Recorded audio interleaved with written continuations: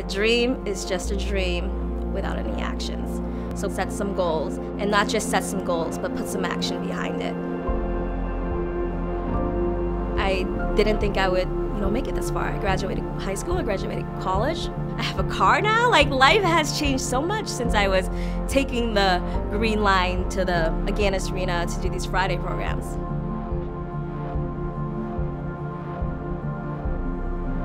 I've learned how to be a leader.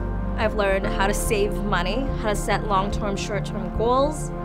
And really, I am proud to be an MLK scholar because of that, because of where I am now. I'm 23 years old right now, and I'm a trial court employee. I'm an auditor. I'm an accountant major. I have my degree. So I can say I came a long way, and it's pretty much all thanks to the mentors I've had at the MLK program that kept me on a straight road.